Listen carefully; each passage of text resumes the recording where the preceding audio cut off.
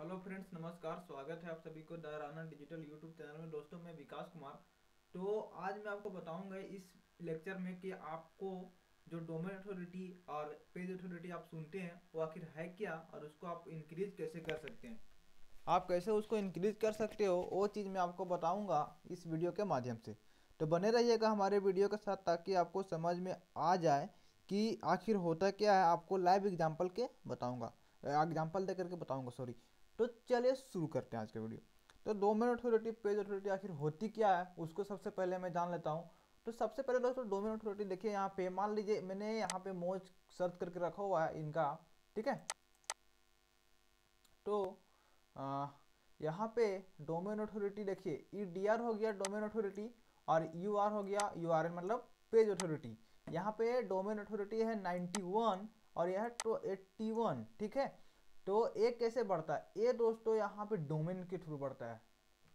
ए domain के through बढ़ता है तो ए में यू सर्च किया था तो मैं सिर्फ़ मोज डॉट कॉम को सर्च कर रहा था इसको हटा देता हूँ पहले। ठीक है? तो डोमेन अथॉरिटी बेसिकली गूगल का इससे कोई वास्ता नहीं है, कोई भी लेना देना नहीं है।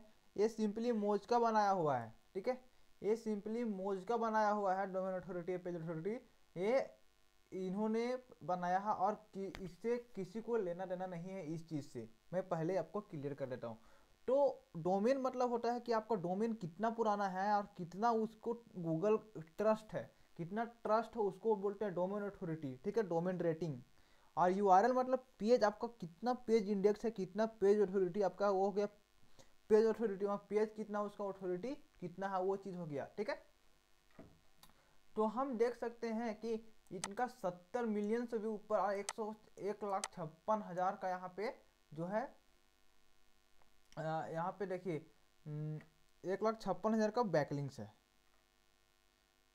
ठीक है? तो ये चीज़ आपको यहाँ पे देख सकते हैं आप, एक लाख छप्पन हज़ार का। और नीचे हम अगर देखें तो ये आखिर बढ़ती कैसी है? तो दोस्तों, ये आपको जितना ज़्यादा ऑथोरिटी वेबसाइट आप बना सकते हैं, उतना ज़्यादा आपको यहाँ पे बनती जाएगी। ऑथोरिटी वेबसाइट बनाने के बाद। मतलब सॉरी ऑथोरिटी बैकलिंग्स बनाने के बाद आपका वेबसाइट ऑथोरिटी आपका खुद ब खुद गेन करते जाएगी। क्या इसको बढ़ाने का तरीका है? बिल्कुल तरीका है। आपको बैकलिंग्स भरपूर मात्रा में बनाने होंगे तो आपको बढ़े लेकिन इससे कोई फ़ायदा नहीं है।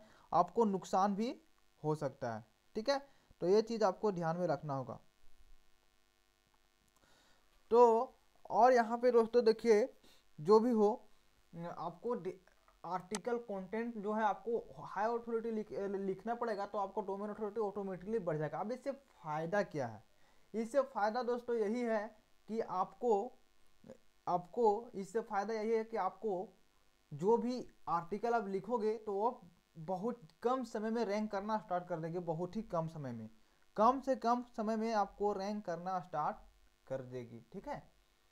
क्योंकि ज़्यादा टाइम अगर अथॉरिटी बन जाता है तो इस सबका ट्रस्ट हो जाता है इससे रैंक करती है, बहुत ज़्यादा रैंक करती है। अब ऐसा नहीं है कि मेरा डोमेन अथॉरिटी बीस है और और आपका ऐसी दस है तो आप उसको बीट नहीं कर सकते। बिल्कुल बीट कर सकते हो, बहुत सारे फैक्टर्स भी डिपेंड करते हैं इसके माध्यम से, ठीक है? तो ये चीज़ आप कर सकते हो आप वहाँ पे बीट हो जाएगी, ठीक है?